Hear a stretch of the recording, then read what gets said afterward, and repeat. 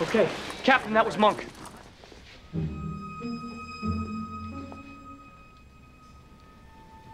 He said he solved the case. You what? He says it's not a union thing.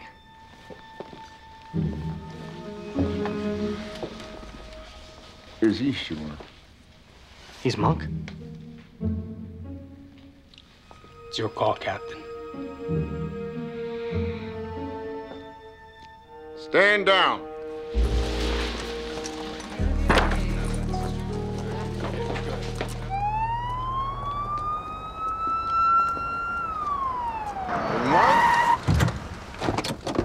What do you got? You got a name? Okay, take it easy. don't worry. I'm not gonna hurt anybody. I promised Karen. What do you got?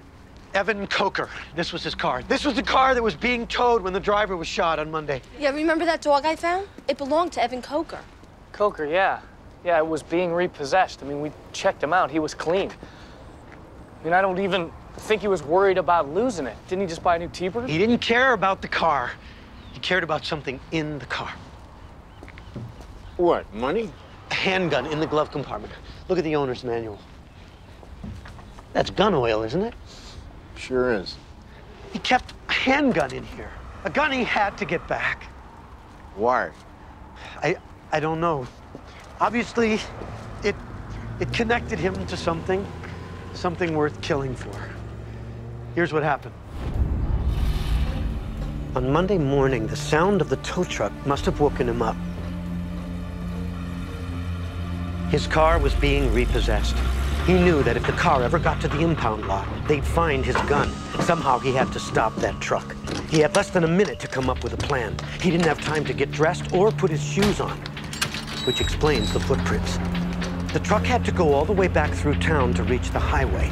He knew that if he ran, he could head it off. That's how the dog got loose. And how the sundial next door got turned around. He cut through the backyards, across the edge of the park,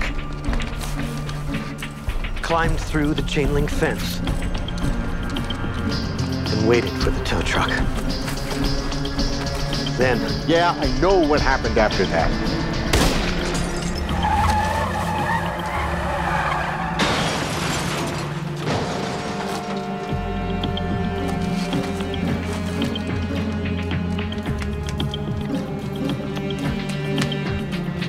right after the crash, he retrieved the gun.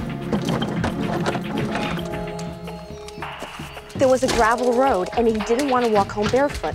So before he left, he stole the dead driver's shoes. And somehow, he managed to get out of there without anyone noticing him. Well, what about the second shooting at the truck depot? Strictly for our benefit. He wanted us to keep thinking it was a union thing. What do you think? It's good enough for me. Okay, Cap, wait a second. Wait a second, Cap. Wait. We gotta, we gotta call the task force. We need a search warrant. We got this guy. We got him. Let's do it right. It's jungle out there. Disorder and confusion everywhere. No one seems to care. Well, I do. Hey, who's in charge here? It's jungle.